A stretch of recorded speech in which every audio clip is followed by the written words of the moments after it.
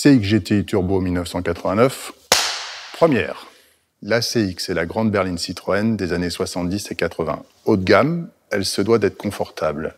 Pour y arriver et dépasser les standards connus chez Citroën, la plateforme est reliée à la carrosserie par des liaisons élastiques, silent block, qui vont permettre une très bonne filtration des chocs et donc un confort optimal.